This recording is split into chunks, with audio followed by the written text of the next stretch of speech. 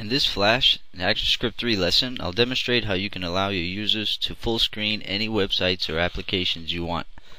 I made it to where it uh, retains the stage elements, all your buttons, background, uh, any images, text, and everything in, on the stage.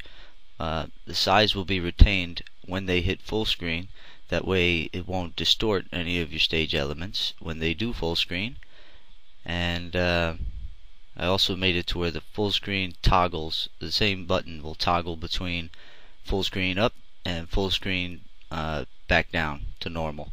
So uh, let's hit the toggle full screen button. Right now it's rendered in the browser here and I just made a, a little dummy site. These buttons don't even work and I put a little fake footer here and uh, so let's hit the toggle full screen button and you can see it full screens it and it has that press escape to exit full screen nifty message that runs across the screen for a second.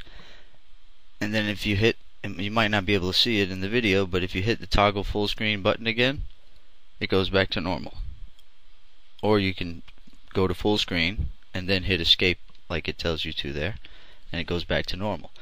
Uh, but I just put the uh, I just made the button toggle full screen. That way uh, they had a little more clear indication of how to get back to normal view. Because uh, some people don't realize that they can hit escape and go back to normal view so I made a toggle for you and uh, let's go ahead and close this out and look at the file here. Now the file on the main scene has uh, one keyframe and it has the full screen ActionScript 3 code layer on top and that's right there. And then it has the whole site movie clip underneath it. And you'll see it's one movie clip that has everything in it. And if you double click inside of that you'll have your toggle full screen button here which is on the top layer. Site logo which is on that layer. Page data is on that layer. Uh, footer and the fake buttons are on that layer and the backgrounds on that layer. So everything's like kind of just structured out like a site would be in Flash uh, but nothing's actually working um, except this toggle full screen button. And all that's on this layer on the code on the actions panel if you press F9 to get your actions panel you'll see that there's one line in there it's an uh, event listener for the full underscore BTN which is this button here. And you can see down here in the, the properties inspector it says full underscore BTN and so there's an event listener, and what the event listener is doing is telling on click, on mouse click, um, run execute the function called full screen up that's on the parent movie clip to this one. The parent movie clip is scene one here. And so it'll it instructs it when that's pressed by the user to to execute this code on the main scene. And the code is uh, what it's doing is we're we're creating a boolean variable uh, that just switches between between true and false when we need it to down here in the function. And uh, these three lines here are the ones that will keep your stage elements. For instance if you if you comment out these three lines you'll see that your stage elements they also they distort when it full screens. So I added these three lines to make it to where it retains the uh, all of your stage elements to where they won't distort and it'll still full screen.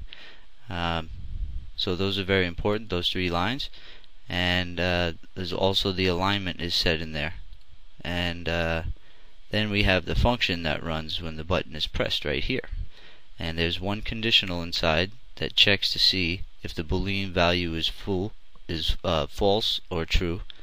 And uh, if it's false, it'll execute the code to full screen up and then if it's true which it sets it to true right here so if this happens then it sets it it switches it to false uh, which sorry it switches it to true and then this uh, switches it back to false. That way it'll go back to this when it needs to. But in the else statement of this conditional we're saying go back to normal. So in this condition we go back we go to full screen and then in the else we go back to normal. And so that's how it toggles in between full screen and normal. And that's pretty much it for the code. The code is really simple. And one very important thing, and it it won't work unless you go down here into your properties inspector and press on the publish settings. You, you press the settings buttons there and bring up the settings. And then go to HTML tab and you'll see that you have some options here in template.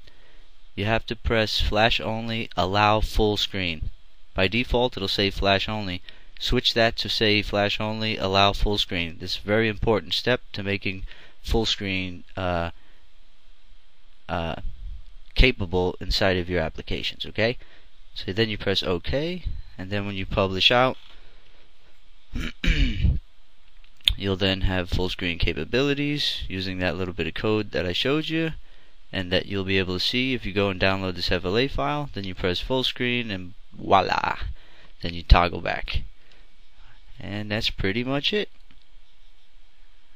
Let's see uh, and it's nice to use uh, a background if you can in CSS that way and then make the window transparent here in your publish settings as well. You can go into your settings and under HTML window mode transparent. And that's how you do that. But that's pretty much it. We'll see you next lesson